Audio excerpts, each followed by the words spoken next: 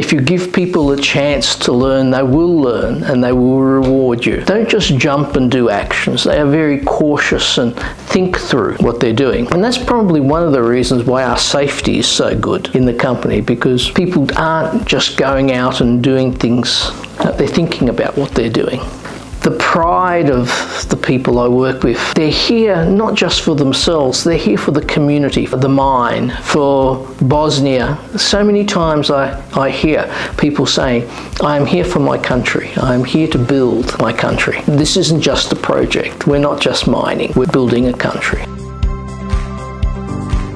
Naš cijeli tim je nekako tako međunarodni. Mogu reći da je privilegija da osim što možemo da naučimo od kolega koji su tu došli širom svijeta, jednostavno možemo da dosta naučimo o tim raznim kulturama. I'm more a people engineer than a geologist. How do I get the best from my people? How do I get them educated? How do I get them enthusiastic? How do I increase productivity and satisfy their interests and develop them so they can have a, a wonderful career ahead of them?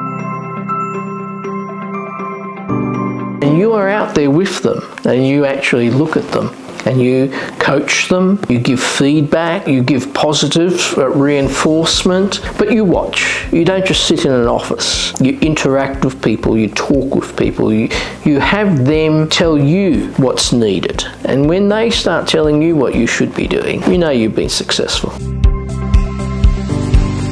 Za buduće geologe imam da usavršavaju se kroz svoje komunikacijske vještine, treninge, učenje stranog jezika, zato što mislim da na ovim prostorima dolazi nešto novo za nas, također učenje tehnologije, iz razloga što je meni ovo prvo iskustvo i smatram da što više treba da se radi na nekim novim stvarima. We have a portable XRF gun. You press a button and it takes a measurement of what's in the rocks. One of our new advances is a microscope. We've run our our first students through the microscope. I have a whole team of people here who's just making 3D models and making estimates from the models. So you can actually see what's in the rocks on the computer screen as a shape. You can spin it around, you can plan a drill hole through it, you can plan a mine around it or an open pit.